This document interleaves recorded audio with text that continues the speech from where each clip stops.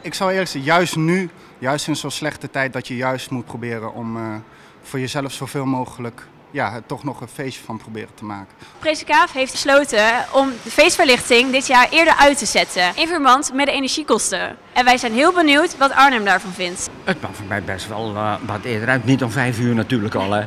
maar het mag best wel wat eerder uit. Ja, om op die manier dus een beetje die energieprijzen uh, ja. te drukken hè, voor de ondernemers ook en alles. Juist geen oplossing, want we hebben best wel veel gas in Nederland wat we nog kunnen winnen. We exporteren dat naar Duitsland en tegelijkertijd draaien wij uh, de kranen dicht.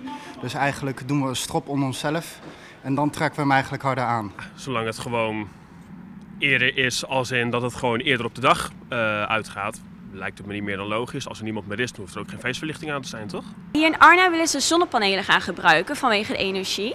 Uh, bent u het daarmee eens of wat is volgens u de juiste keuze?